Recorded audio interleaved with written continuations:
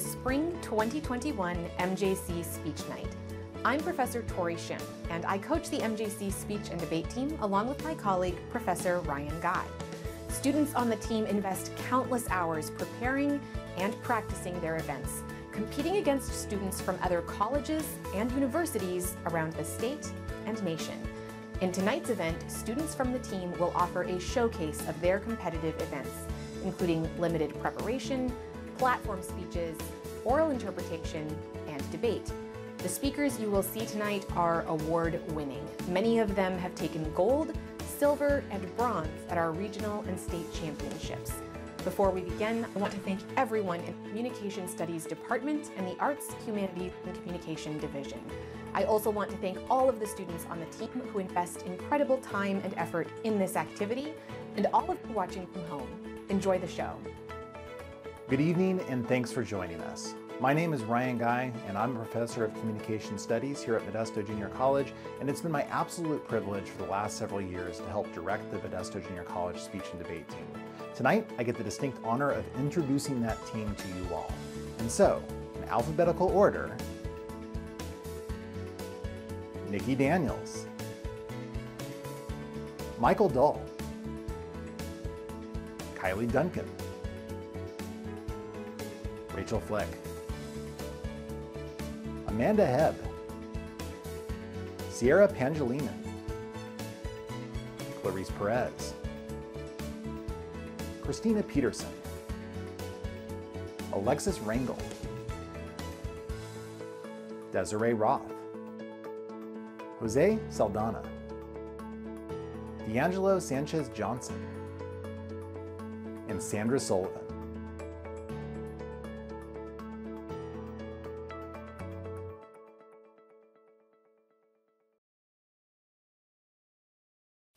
The first event is impromptu speaking. This is a limited preparation event. In this speech, the speaker is given a set of random prompts and has only two minutes to prepare a five minute speech. Despite the time crunch, the speaker is still expected to be organized, produce substantive content, and deliver the presentation with style. Tonight's impromptu speaker will be Alexis Rangel. Alexis has been on the team for two semesters and recently took second place in this event at one of our regional tournaments. I have a blank note card and a pen, and I will be pulling up the prompts on my computer, followed by the prep time, leading directly into the speech itself. So I will begin my prep time now.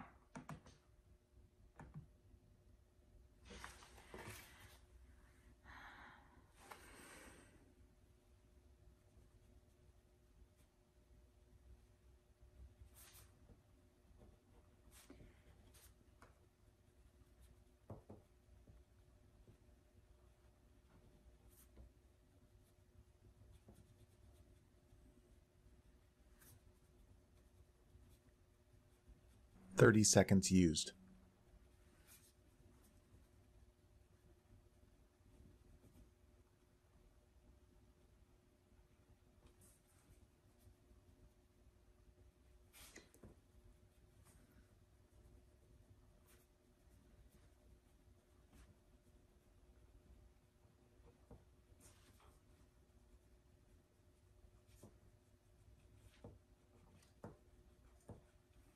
One minute used.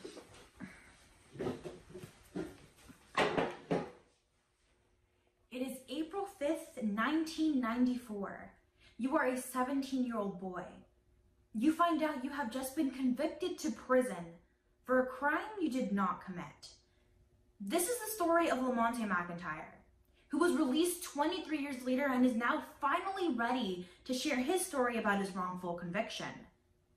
The world, or what seemed like the world to him, told him to avoid speaking out about the injustices that were ensued upon him. But instead, he chose to take action. He chose to speak and is now an activist against these errors committed by our legislation and judicial systems.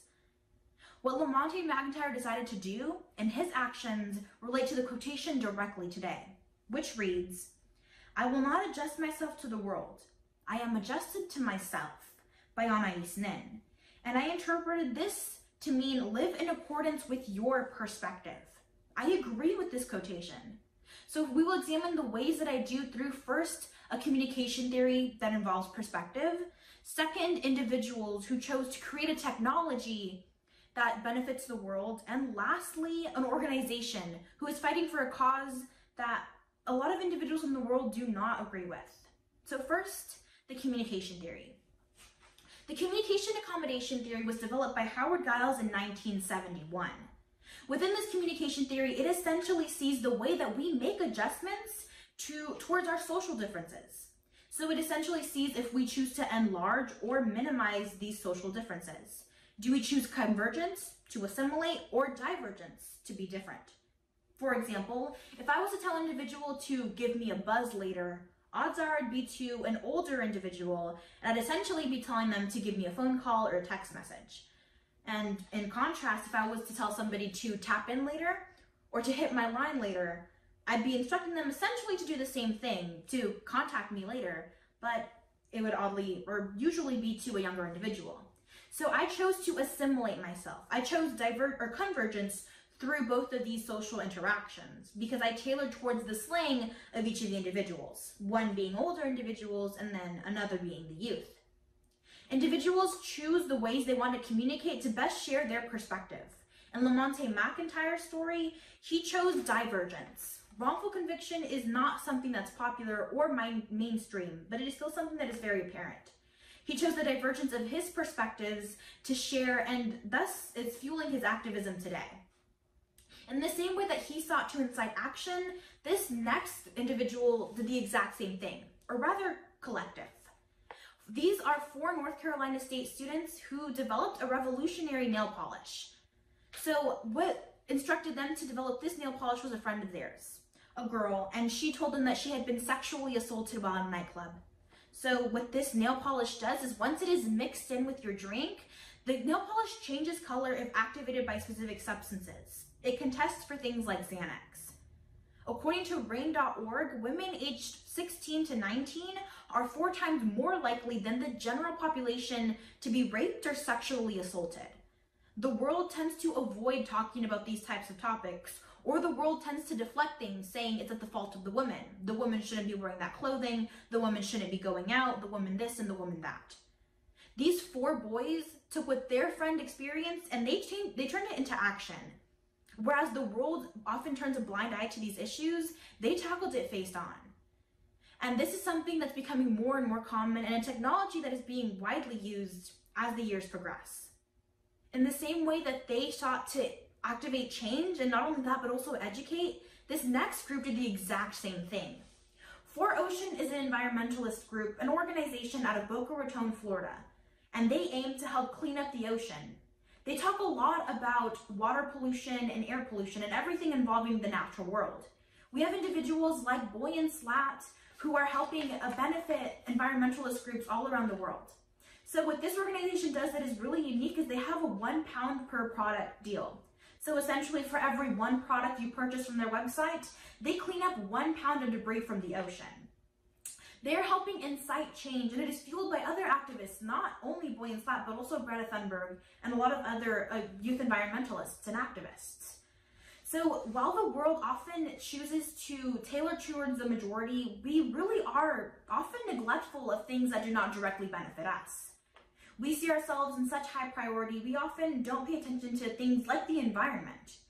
So this group strives to create and enact change and be different through their perspectives. They are seeking to educate individuals about environmentalism and how to benefit the world that we live in today.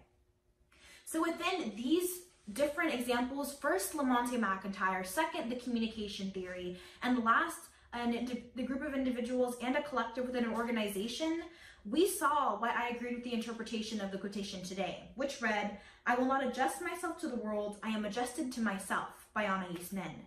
These individuals chose to assimilate convergence or to differentiate divergence within each of their methods in order to help enact change. Whereas the world turns a blind eye to these issues, they tackle these issues head on, face forward. The second event you will see is an informative speech. This type of speech introduces cutting edge topics and seeks to help the audience understand the subject by using well developed explanations that are supported with factual information. The goal is not to sway an audience's opinion, but rather to share with them a wealth of knowledge regarding innovations and discoveries. The informative speaker you will hear from tonight is Sierra Pangilinan.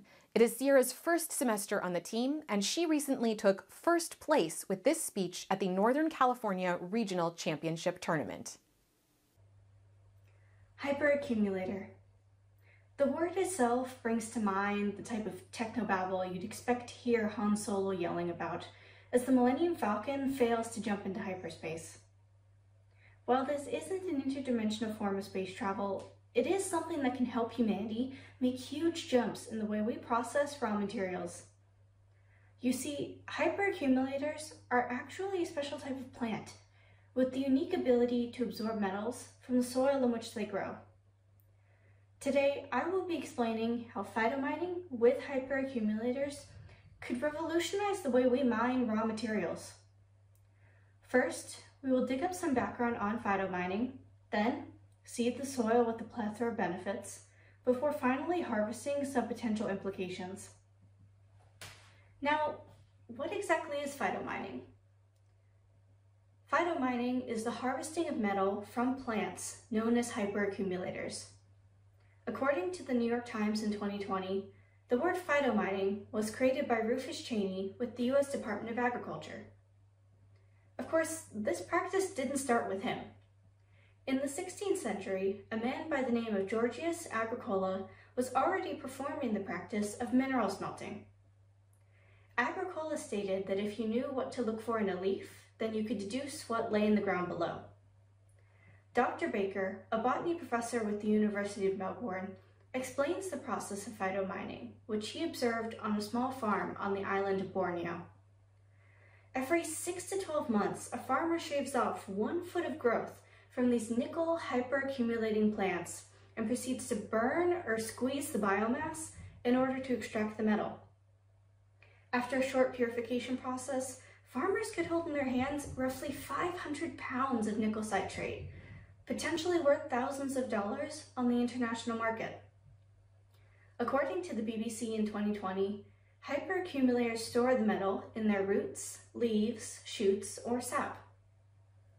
Aside from the fact that is plant versus earth, how is phytomining so different from our current method? Phytomining differs from our current method based on source and process of obtaining metal. Our current method of obtaining nickel and other metals is through the method of ore mining. According to Britannica, accessed on February 13, 2021, the mining of laterites is an earth-moving process with large shovels, drag lines, or front-end loaders extracting the nickel-rich strata and discarding large boulders and other waste material. The International Council on Mining and Metals states that mining is a very restrictive process. The deposits must be on the surface or underground. Metal deposits are becoming more scarce, creating more sensitive and hazardous work environments as we are forced to dig deeper into the earth. Once all the potential minerals have been scavenged for and smelted at a particular site, the earth that is left behind is toxic and deemed uninhabitable for other plant life. This is why the harvesting of hyperaccumulators could be a revolutionary savior to the mining industry. Now that we understand what phytomining is, how can these special hyperaccumulator plants help us? There are three key uses. First, phytomining could help meet the demand for metals like nickel and zinc. Second, hyperaccumulators can be used to remove toxins from the soil. And finally, these plants may be the answer to some concerns about metal-rich soils, like that on Mars, as we expand our exploration of space. In an article by Our Daily Planet in 2020, they state that the potential for phytomining is greatest for nickel due to its occurrence in specific soils, which are enriched and occur naturally around the world. At present, Malaysia and the Philippines are the world's largest supplier of nickel, also claiming host to a native class of hyperaccumulator plants, the Phyllanthus class. The concentration of metals found in the sap of the Phyllanthus plants has the potential to offset the damage done by mining due to our great need for it in everyday items. In an article by New Scientist, published earlier this year. The growing push for environmentally friendly and sustainable energy sources, such as wind turbines and rechargeable batteries, allows us to use phytomining as part of the solution. Certain classes of hyperaccumulator plants can be used to detoxify the land and help clean up the environment. Farmers would be able to use these crops in metal-rich soils, and mining companies could use these plants for waste removal at former mining sites. The Brassica juncea is a hyperaccumulator which absorbs copper and zinc. This particular plant is used in the phytoremediation process, which refers to the removal of toxins from the soil. Once all the toxins have been absorbed, the plant tissues can be harvested to collect the accumulated metals. Thus far, the metal from the Brassica juncea has been used to create carbon nanotubes and zinc oxide nanoparticles, both of which are common in products like cosmetics and rubber. The Brassica juncea may not be common in our area, but the sunflower certainly is. According to calflora.org, accessed on February 17, 2021, the Helianthus annuus is a sunflower native to California and a great hyperaccumulator. The National Library of Medicine states that the sunflower is a prime hyperaccumulator, collecting large concentrations of zinc in its leaves and stems. We have hyperaccumulators growing all around us, it is up to us to use them to their fullest potential. Another beneficial application for hyperaccumulators is Martian life. As of February 18, 2021, NASA landed their fifth rover and an autonomous helicopter on Mars with the intent of studying the soil and atmosphere. As of 2017, NASA stated that Mars has all the essential macro and micronutrients needed to sustain plant life. A major concern among scientists is the presence of metal-rich soils on Mars. Hyperaccumulators could be the perfect subjects for the Martian metal-rich soil, full of magnesium, sodium, potassium, and chloride, based on an article by Space.com in 2017. In other words, these hyperaccumulators have implications that are out of this world. Despite all the positive benefits, there's reason to proceed with caution. Let's identify the potential drawbacks. Phytomining, although useful, poses potential problems in other areas. To grow a significant amount of crop, the first thing you need is land. A 2020 New York Times article by Ian Morse explains that critics are concerned that the hunt for desirable land could lead to deforestation and the removal of animal habitats. These are concerns to take seriously. However, the same article goes on to explain that hyperaccumulators thrive in areas that have already been deforested and survive where other plants cannot. Along with the need for land comes the need for time. Hyperaccumulators require a growth period of 6 to 12 months before harvesting can take place. The same article cites Dr. Baker with the University of Melbourne, who explains that hyperaccumulator harvesting isn't sufficient enough to replace traditional ore mining techniques. Finally, remember when I mentioned that these plants could be used to detoxify the land through phytoremediation? Well, unfortunately, the plants used in the phytoremediation process become toxic themselves after absorbing so much of the toxic remnants. Once all of the toxins have been absorbed, and the plant, the land is seen fit to grow and nurture other plant life forms.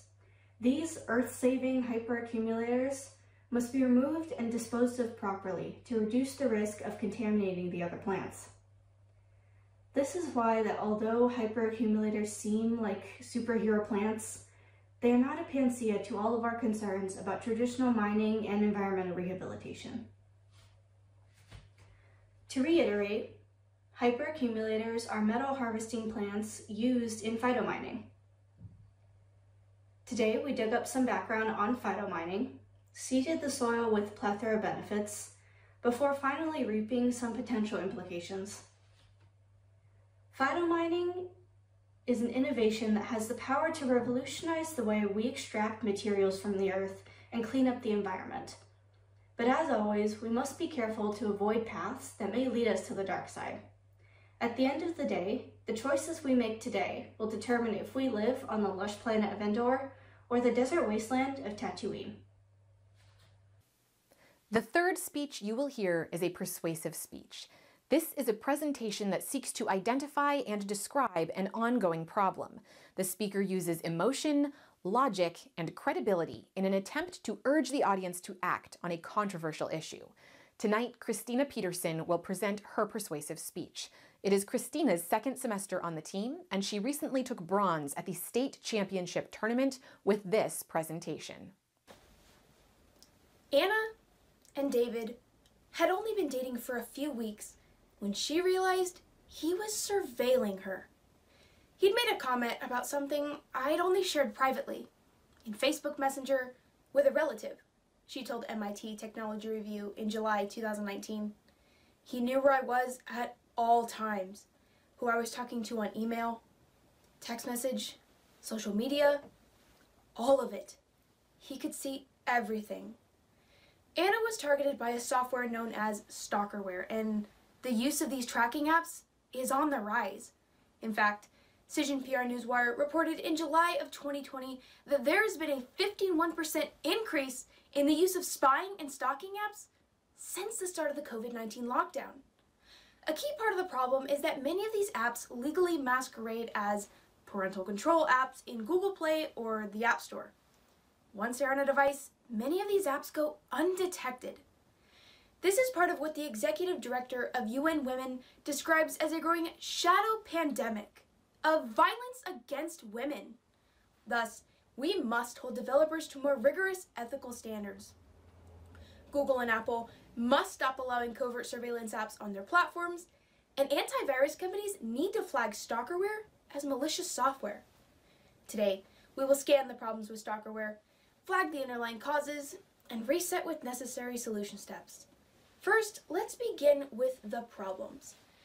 Stalkerware is a category of spyware that, just as it sounds, is designed to spy on individuals.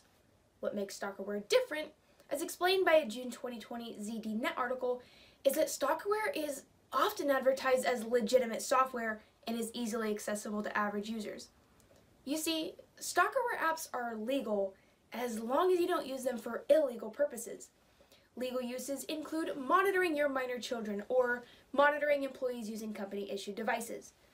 However, as explained by cybersecurity specialist Seth Rosenblatt in a February 2020 article for Tom's Guide, in practice, these apps are often used for illegal monitoring.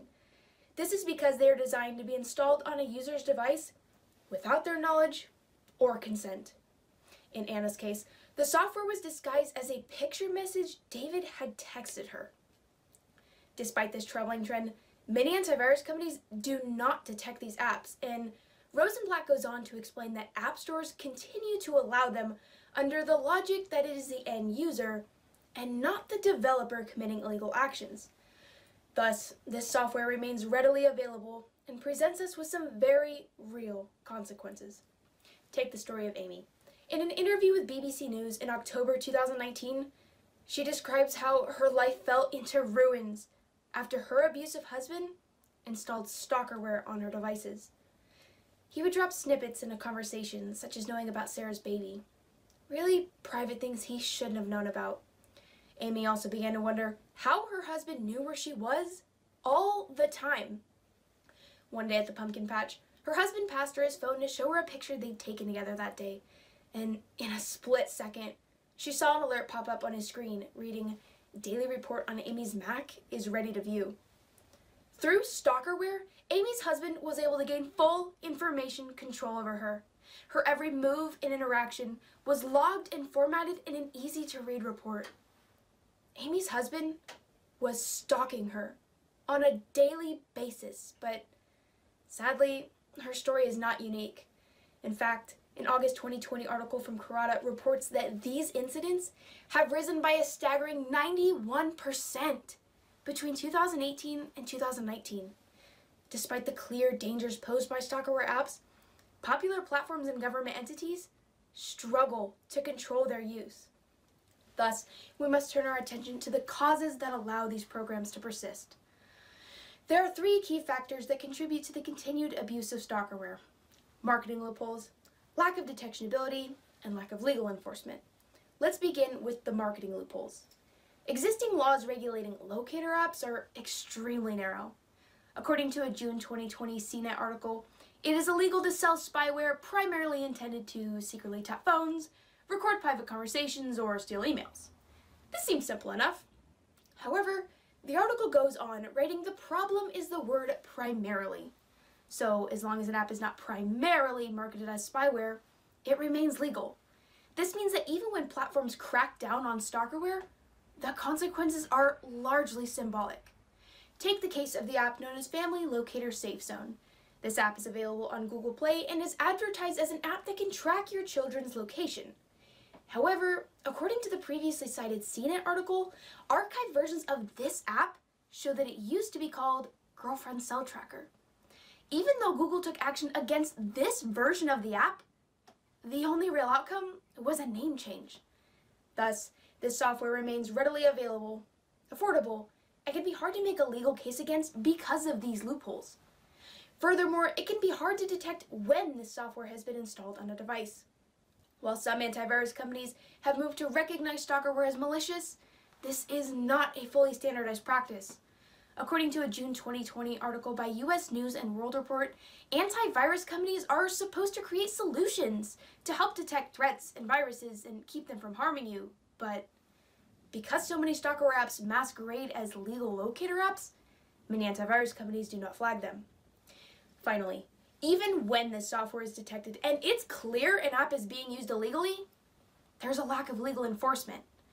A November 2019 article from Malwarebytes explains that those who install stalkerware with the intent to monitor, control, harass, or otherwise abuse their victims typically get away with it, avoiding legal penalty even if there is plenty of evidence to suggest their guilt. The article goes on to cite Erica Olsen, director of the Safety Net program at the National Network to End Domestic Violence. She says there's generally a lack of motivation on this issue and a consistent minimization of this type of abuse. Now, granted, this is a complicated issue. However, there is cause for optimism. Because we understand the characteristics of the problem and have exposed the underlying causes, we can begin to tackle this issue with clear and direct action steps. Let's look to our solutions. Cracking down on stalkerware is going to require a multi-pronged approach as explained in the previously cited article by cybersecurity specialist Seth Rosenblatt, the creators of these programs have continuously found legal loopholes to keep these products accessible. Only by simultaneously pressuring lawmakers, antivirus companies, and device manufacturers can we hope to see change. So first, the legal approach. Current laws at both the state and federal level need to ban apps that covertly spy on users. The nonprofit legal aid group Coalition Against Stalkerware explained on their website, last accessed February of 2021, that such laws would allow them to target developers directly and shut down the bulk of these apps. You can visit their website to help with efforts to pass both state and federal legislation. Next, the antivirus companies. It's painfully clear that we must take swift action even before our legislation and courts of law are fixed. To that end, I'm calling on you to help increase pressure on the companies that make antivirus software. As previously mentioned, most antivirus programs recognize stalkerware as legitimate software and do not alert their users of its presence. EFF Cyber Chief Eva Galperin, who hosted a 2019 TED Talk, proposes a very simple solution. Antivirus companies need to accept the common definition of stalkerware proposed by the EFF and update their libraries to detect all instances of these apps. You can help make this a reality by visiting the EFF's website at eff.org and donating time and or money to increase pressure on these companies. Last, we can also put pressure on the app stores that make these products available. According to their terms of service, both of which were updated in February of 2021, both Google and Apple banned surveillance apps on their platforms. However, they leave the loophole open for apps marketed to track children or employees notified by their employer. This honor system of tracking stalkerware clearly isn't working. We need to send them a message that the continued existence of these apps on their platforms is unacceptable and must be remedied. Please consider taking a few minutes after this round to visit your App Store and leave a message with their customer service departments. It's clear that more must be done to address the role of technology in domestic violence cases. Today, we've analyzed the problems, causes, and solutions. This issue calls us to take swift action against stalkerware. Anna suffered years of surveillance because of this very software. With coordinated efforts between our legal institutions, software platforms, and antivirus companies, we can ensure that stories like Anna's are a thing of the past. Thank you. Our fourth event is prose. In this presentation, the speaker performs a piece of published literature. Performers seek to move audiences and make their point by embodying the characters and inviting viewers to become immersed in the act of storytelling. The performer you will see tonight is Alexis Rangel. She recently took gold at the state championship tournament with this performance.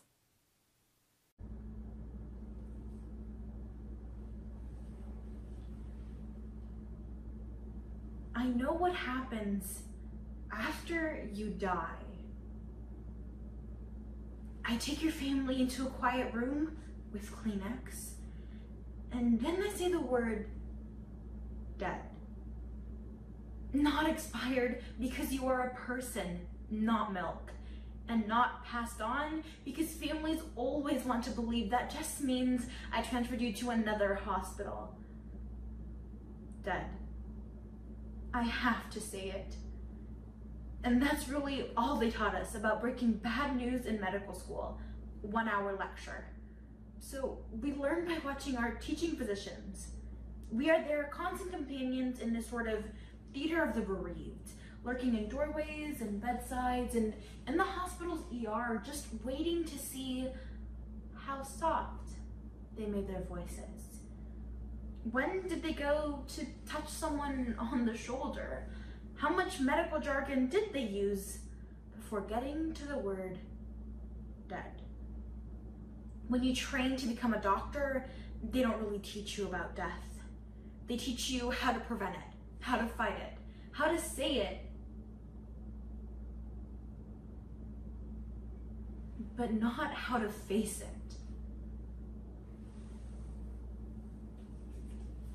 According to the US National Library of Medicine, a 2016 survey of healthcare providers discovered that 91% of respondents perceived delivering bad news as a very important skill, but only 40% felt that they had the training to effectively deliver such news. And this was before a global pandemic that has resulted in 29.3 million cases of COVID 19 in the United States alone, 530,000 of which have been fatal. The pandemic has continued to intensify challenges, including disruptions in equipment supply chain, provider burnout, and the crushing reality of breaking bad news to families. This is especially challenging because the medical field rightfully rewards technical proficiency but does not always recognize the importance of communication skills. This leaves medical professionals defenseless against the emotional complexities and communicative intensities that come with the pandemic. Hearing bad news is never easy. A 2020 article from Northwestern points out that patients remember these conversations for the rest of their lives doctors remember them too. We will explore this complex reality through the story of one physician who must figure out how to say it by Bess Stillman.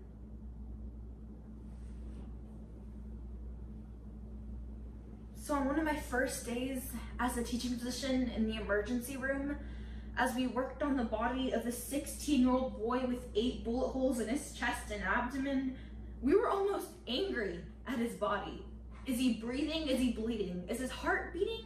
I go to the head of the bed and I plunge a breathing tube down his airway and I hook him up to the monitor that breathes for him. I grab a large bore IV, place one in each arm and an even larger one in his groin, and through that, we start pressure bagging type O negative blood, just trying to replace what he's lost. We put tubes everywhere.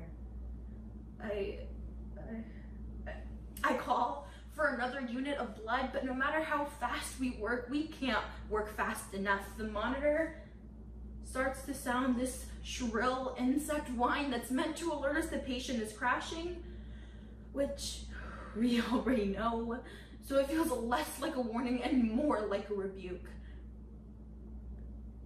And then we lose his blood pressure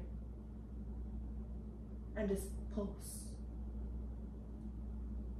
But he's 16, so I perform a trauma Hail Mary. I grab a 15 blade scalpel and I make an incision from the nipple all the way down to the edge of the bed. I take scissors and I cut through the intercostal membranes, takes rib spreaders, put them between his ribs and we crank his chest open. There's this huge gush of blood and and then a moment of stillness, like a second after a lightning strike. Even his blood smells metallic like ozone. And I place my hands into his chest, put them on his still heart, and I begin squeezing it for him, feeling for damage. And I take, I take my right hand, sweep it down the length of his aorta, but it is so riddled with holes that the frayed pieces just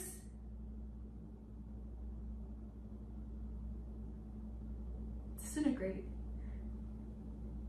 in my hands.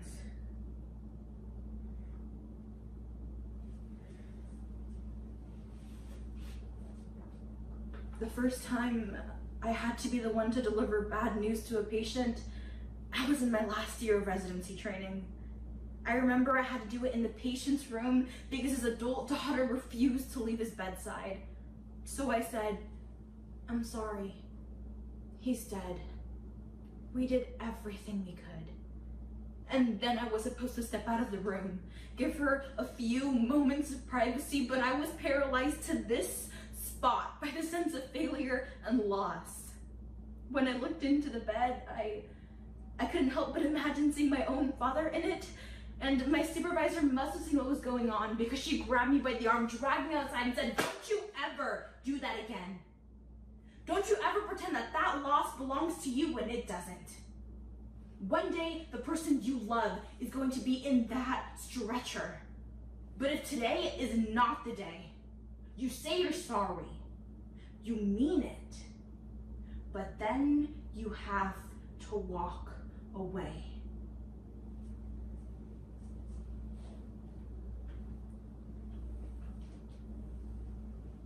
I look up from the boy and I see that my own audience has formed. They wait to see what I do next and I realize in front of me is a gaping hole and the boy's family will probably be here very soon.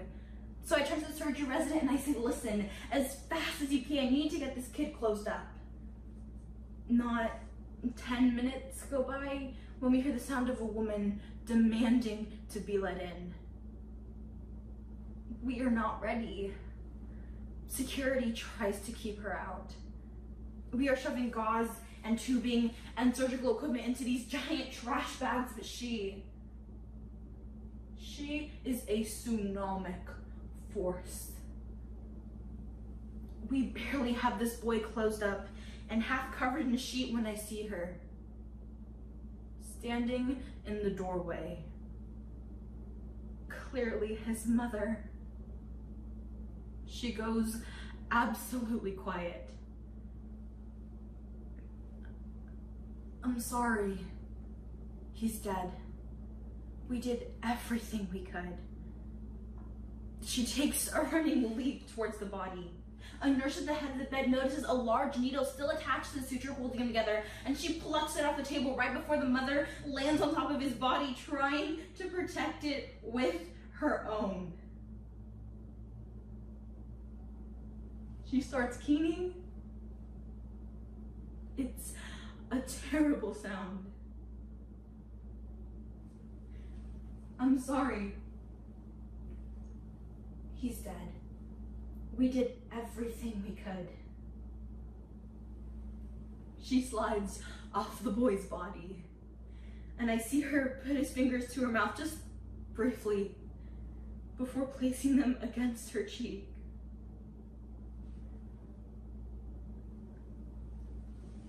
I start to walk out as soon as the social worker enters, motioning for the rest of the crowd to follow me out. I, I think that's what they can learn from me, is how to walk away.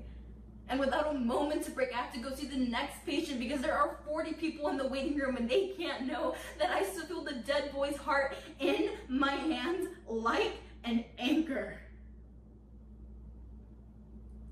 But I know that if I don't put it down now, I may never remember that this loss doesn't belong to me.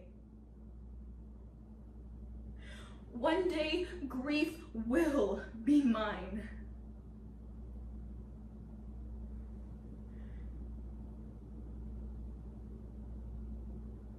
But not tonight.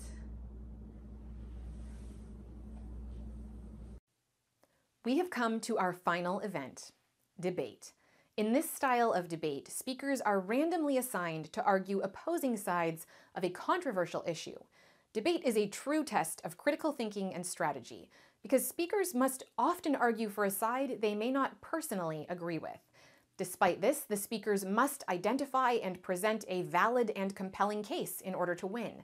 The team who prepares the best arguments for their side is declared the winner. In this debate, you will hear from an affirmative speaker and a negative speaker. Tonight, our debaters are Clarice Perez on the affirmative and Michael Dahl on the negative. Michael took silver at a recent tournament, and Clarice earned gold at our state championships this past weekend.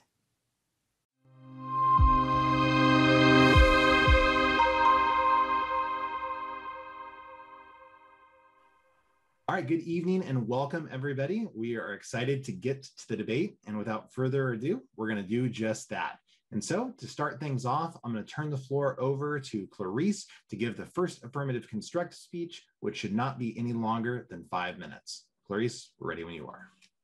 Okay, I'll begin my speech on my first words. Okay, so the greatness of a nation and its moral progress can be judged by the way its animals are treated.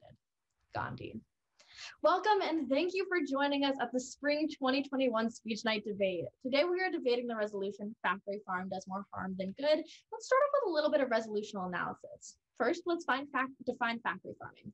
Merriam-Webster defines this as a large industrialized farm, especially a farm in which large animals of lives, large numbers of livestock are raised indoors in conditions intended to maximize production at minimal costs. Second, we should weigh these arguments through the value of protecting life. At the end of the round, if you believe that factory farming harms life, you should vote for the affirmative. If you believe that factory farming benefits life, you should vote for the negative. Today, I have two key contentions why factory farming does more harm than good. Contention one, the next pandemic and antibiotic resistance. So first, let's start with the claim. Factory farms provide the conditions for viruses and bacterial infections to develop. Second, the data. A December 2020 uh, article from Vice News says that factory farming is a near perfect breeding ground for novel viruses, of which at least 60% are zoonotic. Zoonotic viruses are the ones that can jump from animal to human. We already have historical examples of this. The article cites H1N1 in 2009 when the swine flu spread from a factory farm in North Carolina. Additionally, this type of event has been has become more likely for three reasons. First, Vice News explains that factory farms are more crowded than they were a decade ago. The number of hog farms in the United States has dropped by 90%. However, the number of hogs has increased by 50%. Second, policies in 2019 shifted inspection responsibilities from qualified USDA inspectors to plant workers, whose training is not regulated.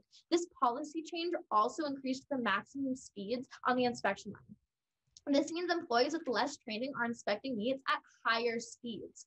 Third, beyond viruses, factory farms are unraveling our ability to cure bacterial infections, according to a 2016 Scientific American report. This is because the diets fed to factory farm animals contain high levels of antibiotics. However, this leads to antibiotic resistance that passes from animal to human. According to WHO, the World Health Organization, this killed up to 700,000 people a year. Finally, the impacts. Pandemics affect every aspect of life, including significant stress on the healthcare system and health workers, impacting education systems and the progress of students, increasing unemployment, poverty, and homelessness, increasing long term health consequences, and death. Thus, when we tie this argument back to our value of protecting life, we can see that factory farming does much more harm than good due to the high probability of future viral pandemics and already widespread antibiotic resistance leading to death. Second contention, cruelty to animals. First, the claim, factory farming practices are inhumane. According to Peter Singer, a bioethics professor of Princeton University, explains that we ought to put animals on equal moral footing to humans. According to January 2020 Issues and Controversies report, he clarifies that this does not mean we should grant animals all the same rights as humans, but that if an animal feels pain, then the pain matters just as much as when a human feels pain. And according to LA Times, the methods that they use to kill animals in factory farms include packing them into cages, drowning them, clubbing them on the head, and in some cases, hanging them. So, the impacts of this. Animals suffer and die in factory farms. An August 2020 article from The Guardian states the following The billions of animals slaughtered every year live short, painful, and disease ridden lives. Animals are frequently frozen, boiled, drowned, or suffocated. And this is due to the mass production that factory farms need. They need to be able to mass produce at fast speeds and quickly to, in order to maintain the costs as low as they are. Additionally, animal rights and human rights are connected. A 2019 Vox article reports on research from Harvard and Dartmouth that demonstrates a strong link between animal rights and human rights. These findings show that individuals who support animal rights are more likely to support human rights, and states with strong animal rights protections also have strong human rights protections. The article states that a political system that sees human suffering and takes action is more likely to be the one that sees animals suffering and takes action, and vice versa. When we tie this argument back to the value of protecting life, we see that factory farms lead to suffering and death.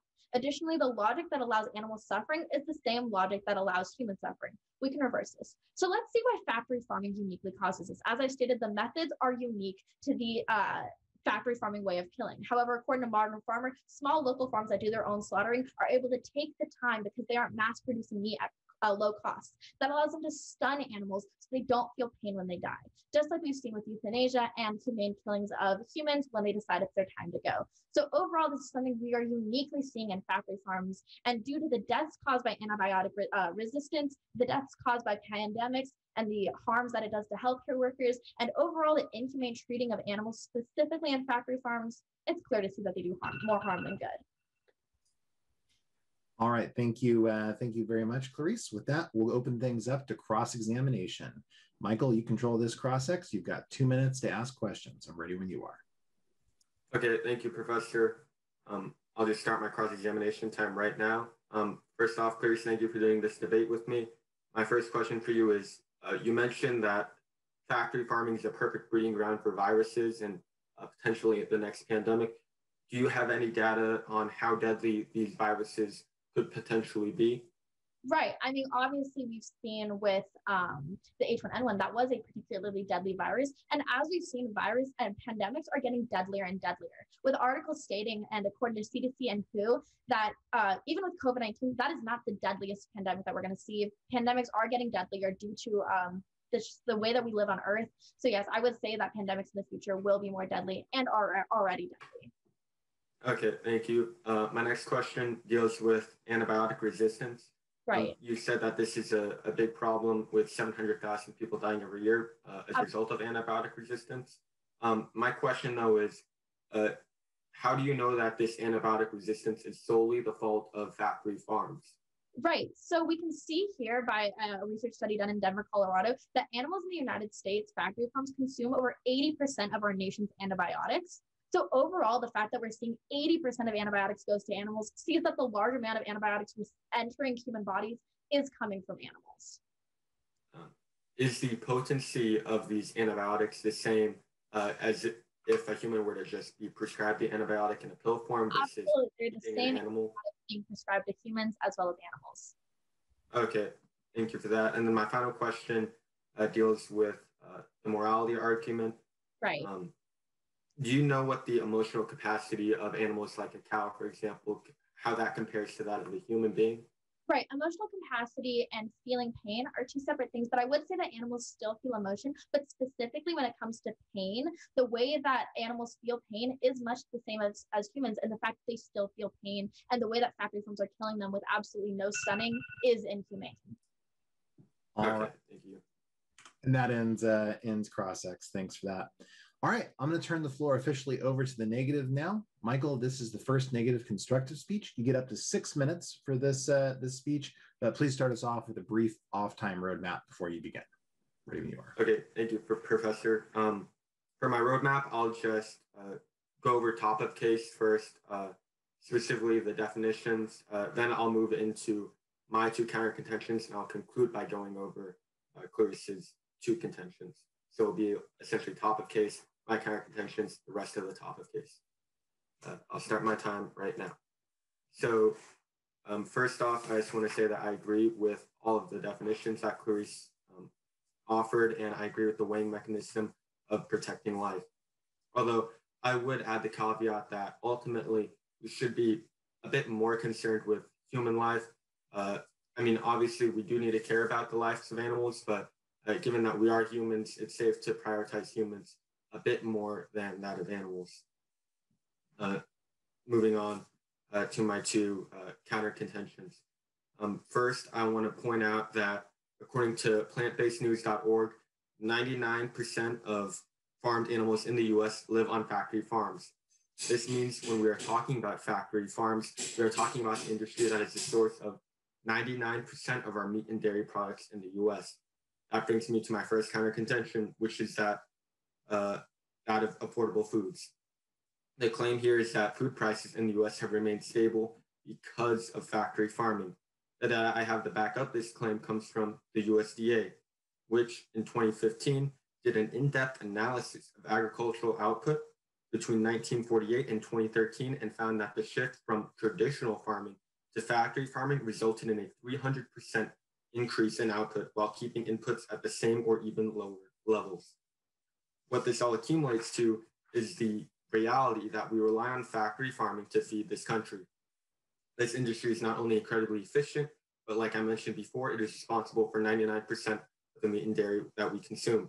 Additionally, a 2019 report from the USDA found that 34.9% of households with incomes below the federal poverty line were food insecure. Uh, what this all means is that if food prices were to go up, which is inevitable with the abolishment of factory farming, more Americans will go hungry. Affordable food is essential to the protection of human life. Therefore, factory farming is essential to the protection of human life. Moving on, my next counter contention deals with that of rural jobs. Factory farms employ and support large numbers of people and contribute greatly to local economies. According to a regularly updated report published by the USDA's National Agricultural Service, over 22 million Americans are employed by the large scale industrial agriculture industry. This means that one in every 12 Americans work in a job connected to factory farming. Uh, the vast majority of these jobs are found in rural communities, and the report goes on to point out that the industrialization of farming results in more high tech jobs, including engineers, programmers, statistical analysis, and many more. These operations bring investment, financial stability, and healthcare to rural areas like ours in the Central Valley. To put it simply, the benefit in rural jobs makes factory farming essential to the protection of life.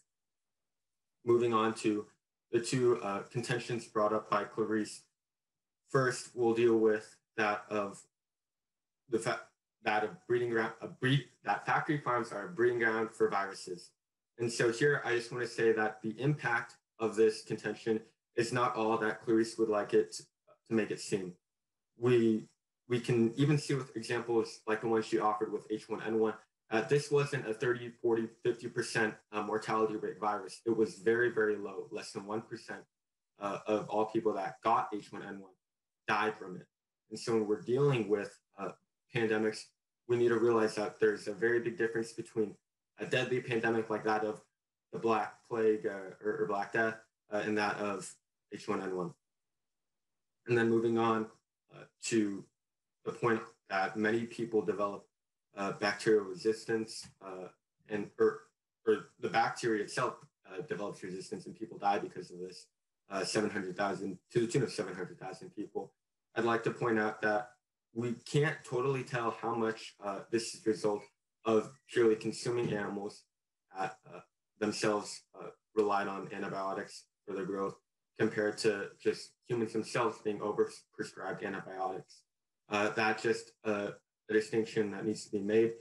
Uh, and when we look at that uh, in the numbers, I think it would show that the number greatly diminishes from 700,000 if we're solely to look at uh, how the consumption of animals um, results in antibiotic related deaths. Moving on to the morality argument, uh, which is Clarice's final contention, uh, I want to bring up the point of Temple Grandin. She's an American scientist uh, and she revolutionized the cattle industry. I'm not uh, an expert in cattle, uh, but the, the basics I understand from this is she noticed that these, these animals were not moving very well and they were atrophying in the muscles and they were overall being very they're, they're living really miserable lives. And what she realized is that if we can develop a system where these cattle are moving, uh, their muscles will be better, uh, they'll be happier, and the quality of meat will be better. Um, so ultimately, I, I would say that businesses are motivated by profit, and this profit comes from providing the best quality of meat to the consumer. And the way you get that best quality of meat is by treating these animals well uh, that does not occur if factory farming were to completely torture uh, animals. And so that's why we don't see this complete torturing of animals. What we see is a, a care um, to the quality of these animals and their own well-being. And with that, I think I've proven that um, when we're looking at quality of life, uh, we should, or not quality of life, but the protection of life, uh, you should vote nay. Thank you. All right, thank you. Uh, thank you very much, Michael. With that, we'll open things back up to cross examination. Clarice, you control this cross ex. You got two minutes. Ready when you are. Amazing. I wanted to thank you so much for being here with me today, Michael. I just had a couple questions for you. So, starting off, is hanging something humane? Death by hanging humane? Uh, I think that kind of depends on perspective. For the vast majority of human Simple. existence, In- hanging has been considered humane. Uh, personally, with our modern sense of morality, uh, I would argue that it's inhumane, but there's a very a way to die. There, yeah. Well, okay. it's essentially a cultural relativism argument. Right. So, um, obesity and diabetes is a pretty big problem in America, right? Uh, yes, uh, if I remember correctly, 71.6% of Americans are overweight.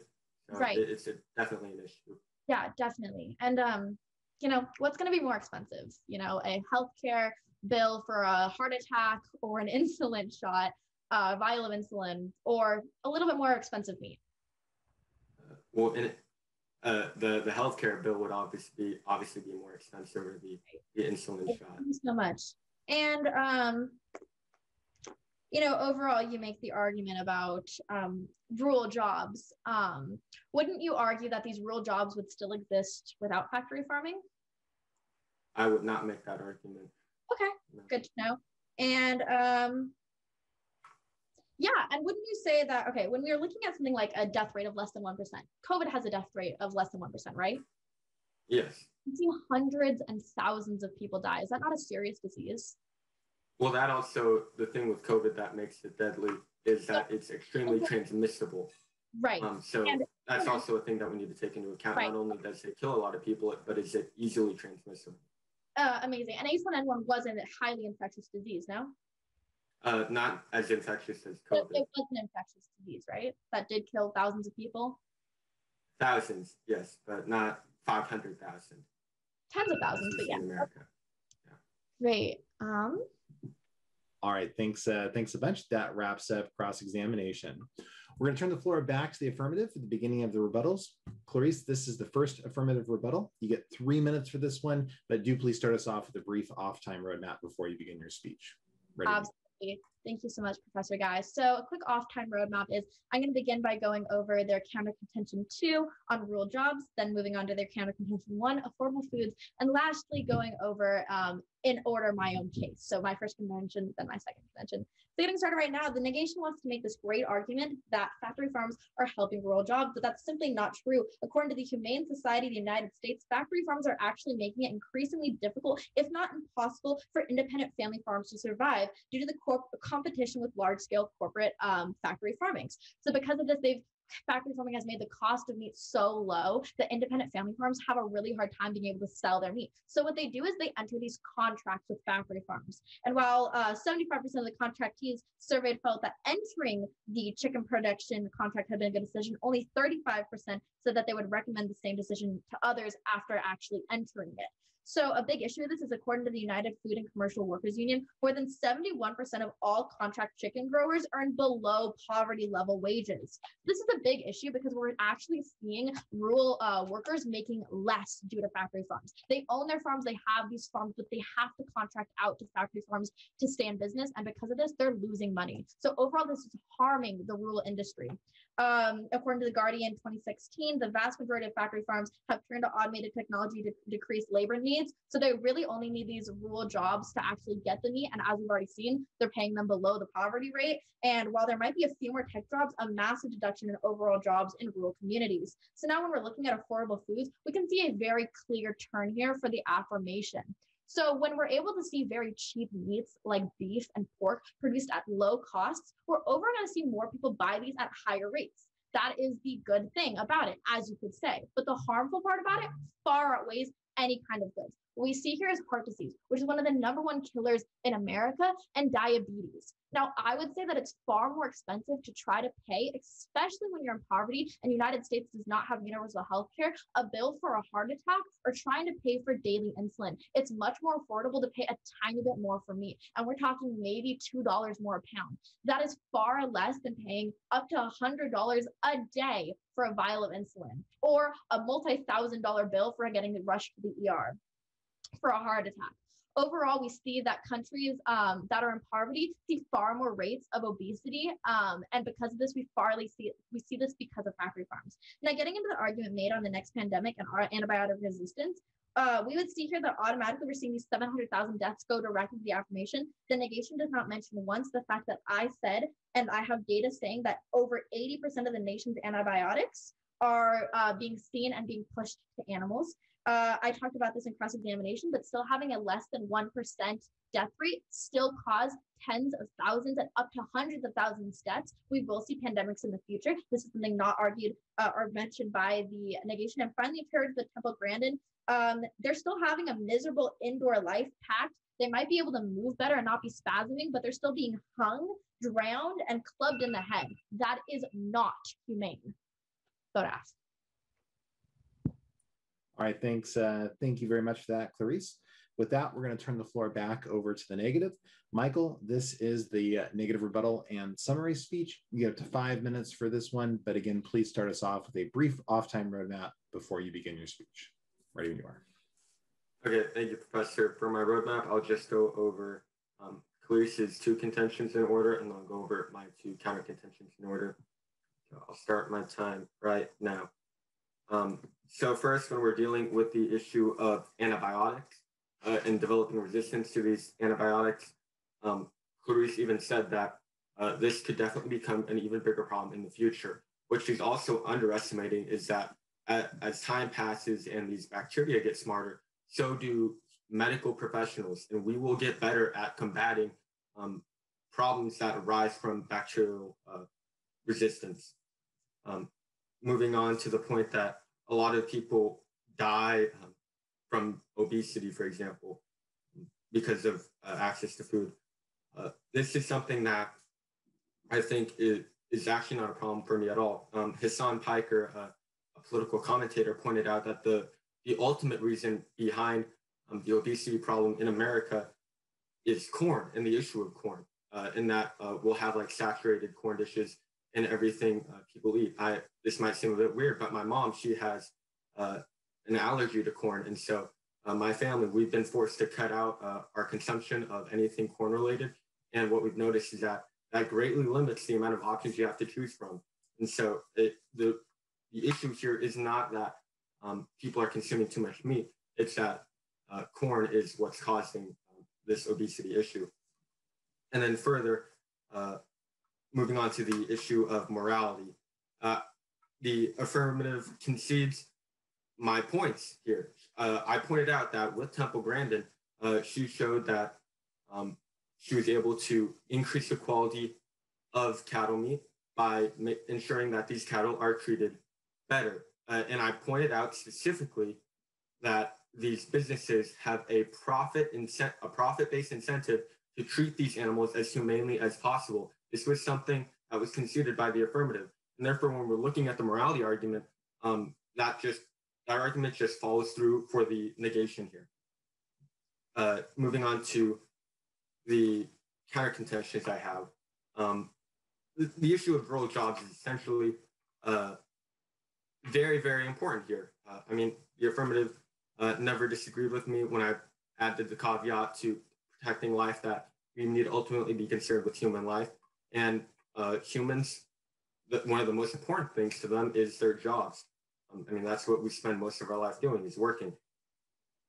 And uh, what we've noticed is that one having a job, frankly, is just better than having no job. Uh, and the affirmative makes the assumption that when we replace uh, or, or, when we get rid of these factory farming jobs, that they'll just naturally be replaced. Uh, but that's just not something you can make. Uh, when we look at the case of NAFTA, uh, what happened with uh, the passing of NAFTA was that manufacturing jobs then got outsourced and they never came back. Our, the United States economy was forced to switch from a manufacturing-based economy to a service-based economy. Now, I would argue the same thing applies with the food, uh, the food market, especially because we're dealing with uh, the issue of efficiency. And I would argue that factory farms are much more efficient um, than family farms. And a drop in efficiency leads to a raise in costs. And if food is more costly, what that means is, again, 34.9% of Americans are food insecure. These people will simply not have food. They will go hungry. This is a problem that the affirmative fails to address. And then moving on to, uh, well, actually, I already addressed the issue of morality. Um, I guess the, the final issue here then is, uh, no, I, yeah, I've addressed food, uh, the food scarcity problem. Um, and I've pointed out that that's a win for the uh, negation. I pointed out the job problem, and that's also win for the negation. So when you guys are judging this round, you need to think about what is best uh, for life and more specifically human life. And what I've proven is that we, one, we need to eat, and two, we need to work. And factory farming uh, gives us the opportunity to do both of those things. Um, if we were to assume that uh, what the neg would, I, I, presume would want, which would be to get rid of factory farming, these people are going to have less access, a, a greatly stunted access to food, which will mean they'll go hungry and they'll simply lose their jobs, uh, which means they won't even be able to afford uh, what little food they can already afford, especially if they're low income. And I have successfully proven, um, especially when it comes to the morality argument, that these businesses have an incentive uh, to be moral. Um, so when we're weighing this, I think I've proven that that if factory farms aren't more beneficial than they are harmful, they are at least equal. And with that, uh, the judges and the audience should vote neg. Thank you. All right, and thank you, Michael. And with that, we will turn the floor back over to the affirmative one final time. Clarice, this is the second affirmative rebuttal and summary speech. You get up to three minutes for this one. But again, please start us off with just a quick off time roadmap before you begin your speech. Okay, um, thank you. I'm just going to do a quick off time roadmap. So, starting off, I'm going to be going over just quickly the arguments that the negation has made and then finally ending off with some voters. So, let's get started. So again, I think one of the main reasons uh, that we're, you're going to be voting for the affirmation today is this argument of uh, harming rural workers. This is a really big thing in Central Valley specifically, and we overall see that factory farming makes rural workers work less. So the affirmation, uh, the negation comes up here and states that rural workers won't have a job without factory farmers. What they fail to address is that factory farmers are the one contracting independent farmers, meaning they'll still have their farm and they'll still be able to work, but without factory farming, they'll actually be able to sell their own meat instead of having to compete with factory farmings. Because they have to compete, they no longer can be selling their own goods because it would be too expensive for people to buy. But if factory farms didn't exist, then they'd be able to sell more. So then the affirmation states, well, if it costs more, the negation states if it costs more, that's not good. But we're simply stating that healthcare costs cost more. Now the negation comes up here and states that corn is the cost of obesity, but we can see a direct link between fat consumption and obesity. That is something you cannot deny. And overconsumption of beef and cheap beef being caught, bought at higher and higher uh, production rates is something that's causing obesity. So that's a clear win for the affirmation here. It is far more expensive to be um, going to hospitals, having heart attacks, and paying for insulin than it is to pay a little bit more for meat. And paying a little bit more for meat means that rural workers will be making minimum wage and above minimum wage again. This is a far better trade-off. And overall, the um, those in poverty will be able to afford the high rates of food because they won't be paying these outrageous costs of healthcare due to having to buy insulin or take care of a heart attack. So now getting into this whole issue of humanity, I did state this in my first um, argument and my first speech. It's something that negation never addressed. So according to modern farmers, small local farms that do their own slaughtering in-house have the ability to spend time to humanely kill the animal, which involves stunning, so they don't feel the pain. So this is something that's unique to um, not having factory farms because they cannot be doing this at high speed productions. If they were trying to stun humanely every single animal, they wouldn't be able to do this at high speed productions. But that's exactly the issue.